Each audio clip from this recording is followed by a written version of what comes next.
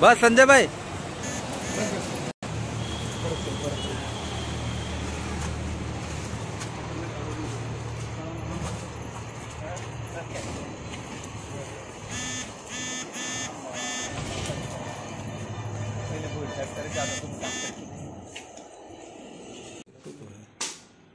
Total काय सांगायचं आपण? टोटल पाच तलवारी.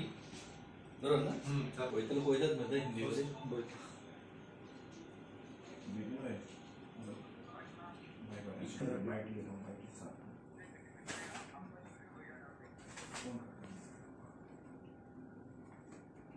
तीन तलवारी घरामध्ये भेटल्या दोन तलवारी पिकअपमध्ये भेटल्या.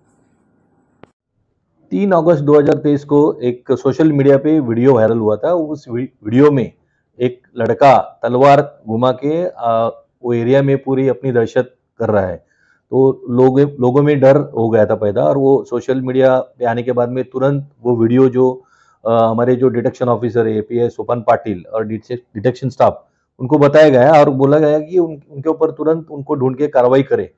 तो वो जो लड़का था उन, उनको ढूँढने के लिए हमारे हमारे जो डिटेक्शन ऑफिसर है सोपन पाटिल और स्टाफ और एक पीएसआई जगताप वैसे उन, उनको वो एरिया में भेजा गया संतोष भवन पांडे नगर में। वहाँ पे जाने के बाद में उस लड़के के बारे में वहाँ पे पूछताछ की उन्होंने फिर पता चला कि उनका जो भी घर है उसका लड़के का नाम डॉन अलाइज कुल, कुल, कुलदीप सिंह रमेश सिंह ऐसा नाम था और उसका उम्र कुछ सोलह साल का है। तो हाउस सर्च लेने के बाद में उनके घर में वहाँ पे कुल मिला के तीन तलवार चार खंजीर और अठारह कोयता मिला। फिर बाद में वहाँ पे दो और बंदे थे उन, उन उनको पूछताछ करने के बाद में पता चला कि वो वहाँ पे लेबर करके काम करते उन्हीं के घर में। तो उनको हिरासत में लिया उनके पोजीशन में वो सब मिला। उसके बाद में और पूछताछ करने के बाद में एक पिकअप वैन में और दो तलवारें मिली। तो वो सब माल जो है पूरा मतलब जो हत्यारे है वो रिकवर किए और उनको कस्टडी में लेके धारा चार और पच्चीस भारतीय हत्यार कायदे के तहत क्राइम रजिस्टर किया उनको अरेस्ट करके कोर्ट में प्रोड्यूस किया गया और सात तारीख तक उनकी पीसीआर है।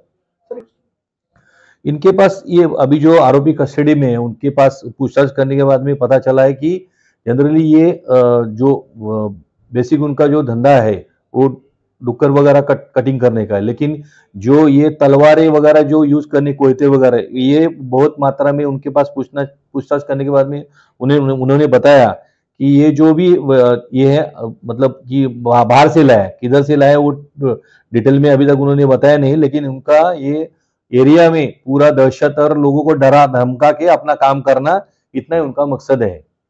तो उस उससे उ- उनके परिवार में जो एक पवन पल्ल्या नाम का जो सदस्य है वो अभी फ़िलहाल वो गुजरात में ऐसे पता चला है और उसके खिलाफ भी तुलिंज पुलिस स्टेशन में केसेस रजिस्टर है। और इसमें और दो वांटेड जो है उनकी तहकीकत कर रही है।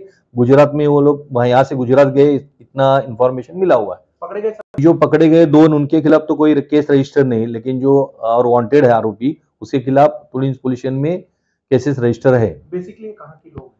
बेसिकली ये हरियाणा के लोग हैं। हरियाणा से है वो।